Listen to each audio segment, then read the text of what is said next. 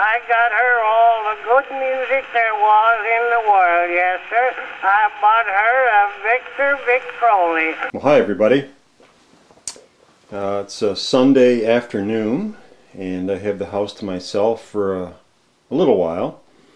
And I thought I would uh, bring you another video. What you're seeing here is something hidden under the blanket. What is it?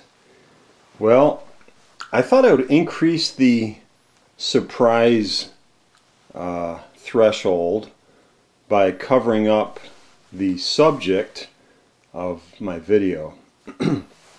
so let's pull it off and see what we have. It's something that I don't think any of you, or very few of you, have ever seen before. This is a machine, an extremely early phonograph that was handmade, every bit of it, by one man back in about 1898. You can see that it, the, it's in a mahogany uh, cabinet that was homemade. It has what looks like a Class M, Edison Class M uh, governor and works. And then we have an extremely early looking uh, standard Model A, Edison Standard Model A. Again, this is this was not neither one of these were made by Edison. Uh, these were all hand forged by the person that built this. Obviously, the Edison uh, I put an Edison Model C reproducer in here from about you know these are from maybe 1902 or so. Uh, that's the only thing that I added to this. It originally came with the, oh, the sun's going in and out here, so the, I apologize, the, the lighting is changing. Yep, there's the sun's back in now. And uh, this originally had an automatic reproducer from the uh, late 1800s. Anyway, so there's a number of differences and changes and uh, just interesting things about this. Uh, you can see that he added some uh, hand uh, scroll work here, which was interesting.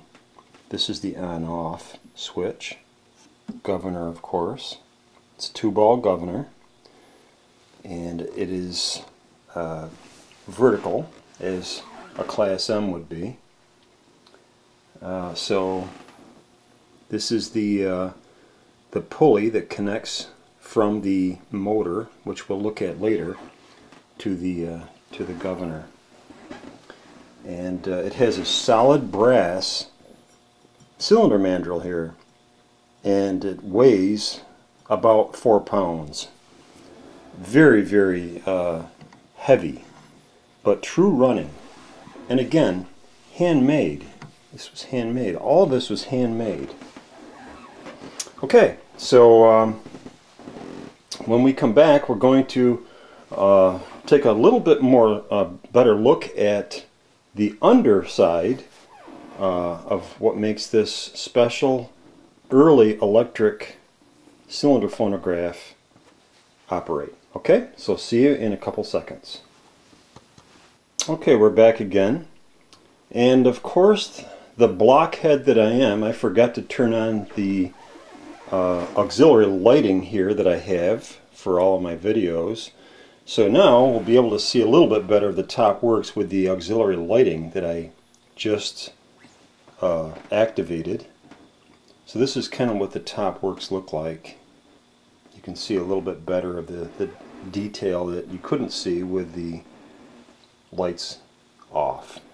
Okay, so let's go to what I was saying. I've, so I've removed here, you can see the uh, this entire works sets into this ancient handmade mahogany cabinet and uh, oh boy just a minute please. I've got to unhook this light. There. This will uh, sorry about the this will give you an idea what the underworks look like. It's basically an early Edison fan motor. Uh, Gramme ring fan motor. And uh, it's actually in excellent condition. And you can see that there is the belt underneath. The top belt operates the governor which is that's driven by the motor down here. And the motor also drives this belt up to the uh, the cylinder mandrel. And then we are able to uh, the, basically the powertrain is able to uh, operate like that okay? So let me see if I can uh, I should have thought about this before. Let me see if I can uh, hook up this light here. Just apologies here. I'm going to see if I can clip this light onto here. It's not cooperating. There.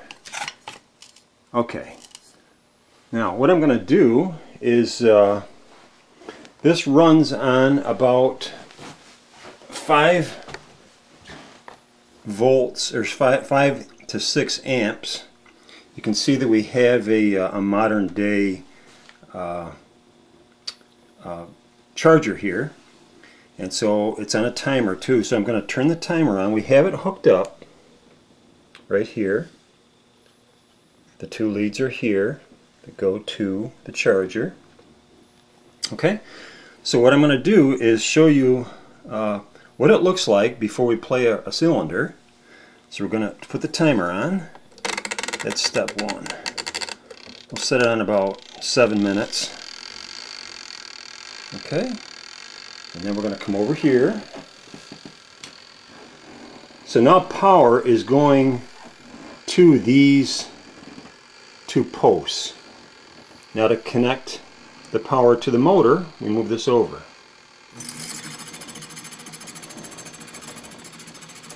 There you can see we have power top side and it's got a relatively quiet motor. There you can see the, uh, the Gramme Ring motor working. And it's absolutely beautiful running motor for late 1890s technology. And it maintains speed fairly well for uh, an old, old fan motor. Okay, so let's shut it down. Okay, and when we come back, we're going to play a cylinder on this old, old bad boy. Okay? So let me turn this off. Okay. And we'll see you in a couple seconds, okay? I'll put the works back into the cabinet here and we're going to play a song or play a cylinder. I don't know if it's a song or not. okay? See you in a minute. Okay, everybody. I'm back. And now for the performance. Uh, this is going to be, I selected out of my collection a two minute Edison wax cylinder. It's by Steve Porter and it's called Flanagan and His Money. And it's funny as heck.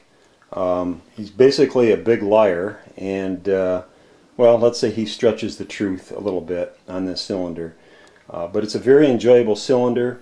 Again, we're looking at uh, a machine that was handmade uh, 120 years ago or close to it and so it's driven by an ancient Edison fan motor and uh, DC of course and uh, so the speed might vary a little bit folks and but for what it is I hope that most of you will enjoy it okay so let's go and hear what this old bad boy sounds like. We're going to give it some juice. We're to set the timer for about six minutes. Plenty of time for a two minute cylinder. Move the power on. And Sometimes it needs a little, there we go. Sometimes it needs a little coaxing. It's so very old. Here we go. I hope you enjoy it, folks. And as always, thanks so very much for stopping in.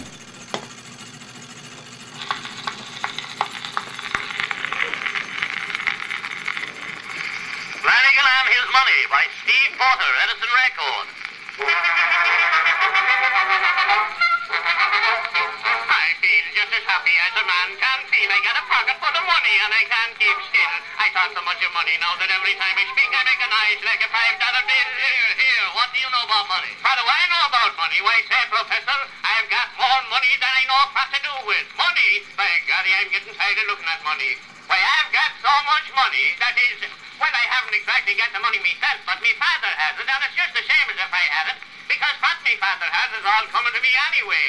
Uh, it's a shame for one man to have so much money. Of course, it isn't ready money he's got, it's gold he's got. But then gold's the same as money, for you can always change gold into money. You see, me father has so much gold. That is, he hasn't got the real gold, he has gold mines. But it's just the same as if he had the gold in the bank because he can send right out to the mines any time and get all the gold he wants. Now, these gold mines, no, no, I'm mistaken.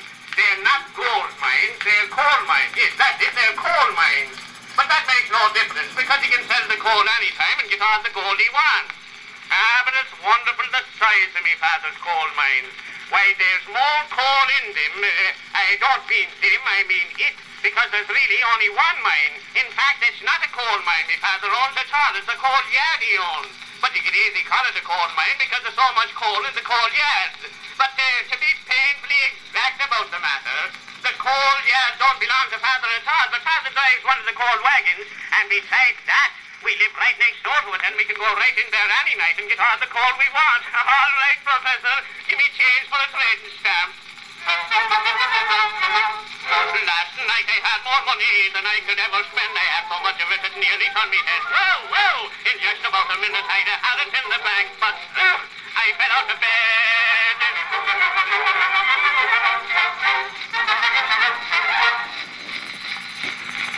And there it is, folks. Flanagan and his money played on an ancient, homemade, DC powered, electric, Class M looking machine. Thanks again for stopping in, folks, and I hope that you enjoyed it.